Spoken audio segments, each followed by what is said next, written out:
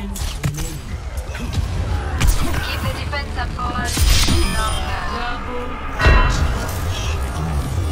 A few moments later.